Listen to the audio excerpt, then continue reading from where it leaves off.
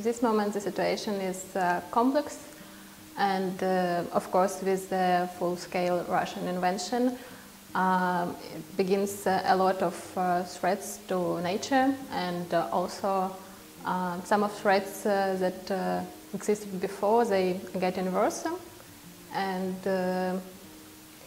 Ukrainian civil society now it's switched to humanitarian and social aid uh, and some uh, war-related activities.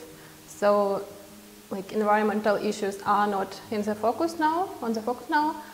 But, um, for example, our co-activists from Svydovets movement, they, uh, they are doing a lot of uh, social and humanitarian work. They are building shelters uh, in the Transcarpathian region.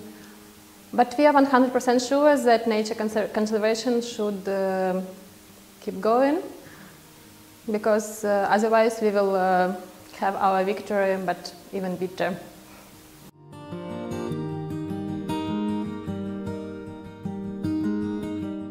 If you ever visit to Svydovets, uh, you will never forget these uh, wonderful landscapes, uh, energy and harmony. It will fill you up.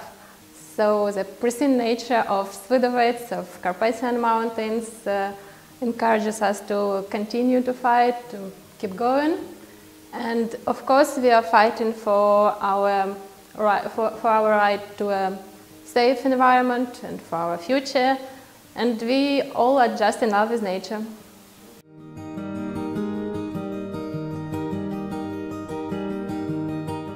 Yeah, the best for Svydovets, for Carpathian Mountains and for Europe is of course to have some wild uh, space, uh, not uh, without urbanization and deforestation. Like, you know, for example, brown bears, they don't have borders. They should be able to walk from Poland through Ukraine to Romania. And if we build a commercial city on the top of hills, uh, it will be not possible.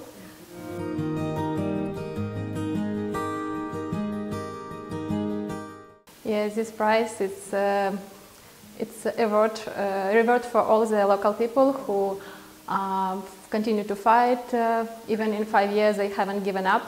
It's really important for local inhabitants. Uh, and uh, also, it's a great chance to meet and uh, to collaborate with another committed activists, persons in the field of sustainable development, of nature conservation, uh, and also it's not easy to be environmental activist in Ukraine because uh, of safe reasons and uh, uh corruption.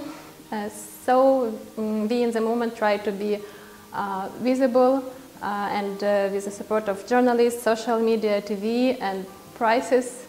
Prices helps us a lot too. so, but EuroNatur Award, it's a bit, it's a big, big honor for us.